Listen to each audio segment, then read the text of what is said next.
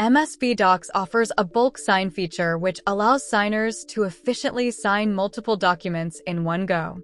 This video will show you how. Upon successful login, you'll be directed to the MSB Docs application dashboard. From there, simply tap on the signature required ticket.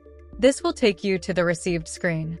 You'll find all pending documents in your inbox. You can easily select multiple documents by pressing the document list or tapping on the left icon. After selecting multiple documents, go to the top right corner and tap the bulk sign icon. On the next screen, you can provide details like signing reason and comments.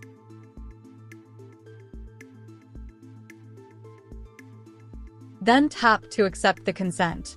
After entering in all the details, you can proceed by tapping on the Authenticate button.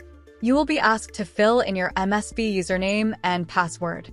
Enter your password and then click on Authenticate button again to complete the process. MSB will display a notification that your documents have been signed successfully. Please note that some documents may not be allowed to be bulk signed, depending on the permission set by the person who sent the document to you. These documents will need to be signed individually. Thank you for watching.